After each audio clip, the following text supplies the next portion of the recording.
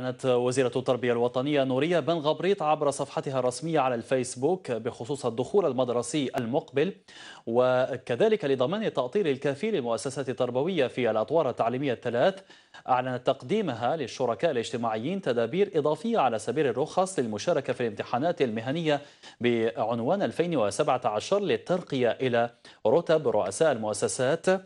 وكذلك التي أقول كانت مطلبا لهم والمتعلقة بالترقية إلى رتبة مدير ثانوية وتخفيض الأقدمية المطلوبة لنظار الثانويات من خمس سنوات إلى ثلاث سنوات على الأقل.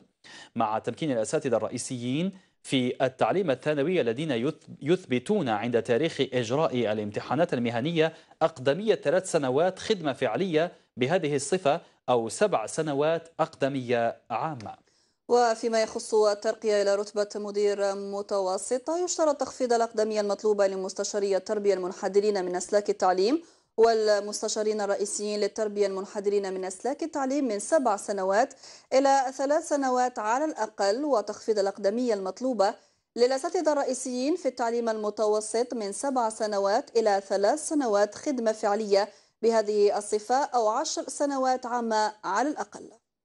كذلك بالنسبة إلى ترقية رتبة مدير مدرسة ابتدائية تخفيض الأقدمية المطلوبة لمساعدي مدير المدرسة الابتدائية من خمس سنوات إلى سنتين على الأقل. وكذا تخفيض الأقدمية المطلوبة للأساتذة الرئيسيين في المدرسة الابتدائية من خمس سنوات إلى ثلاث سنوات خدمة فعلية. بهذه الصفة أو سبع سنوات أقدمية عامة على الأقل عند تاريخ إجراء الامتحان المهني.